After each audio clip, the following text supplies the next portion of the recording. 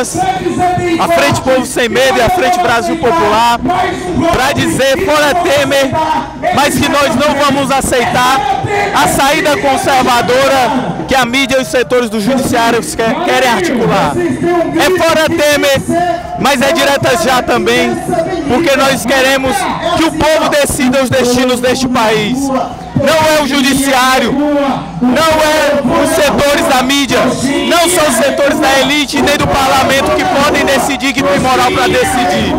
Quem tem moral para decidir o futuro do país é o povo na rua, é o povo escolhendo sim quem vai governar o país com um projeto popular, barrando essas reformas. Então a gente está na rua hoje, fora Temer, direta já, nenhum direito ao menos. Esse Congresso não tem moral.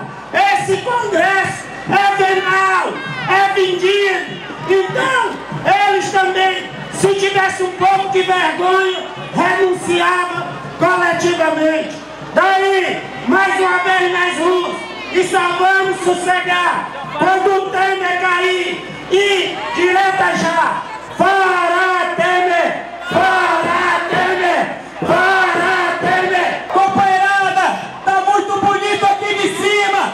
São mais de 30 mil pessoas nesse domingo aqui em Fortaleza, aqui na Avenida Beira Mar. Então, primeiramente,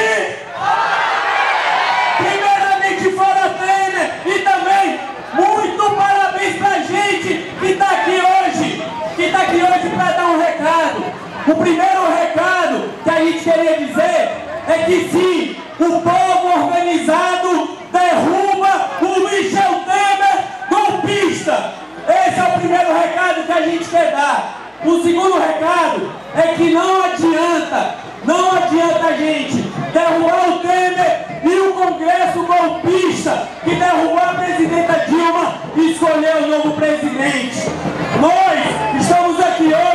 Para além de destacar que é o Fora Temer, nós queremos também que o povo decida, que o povo vote quem será o representante legítimo do povo brasileiro até 2018.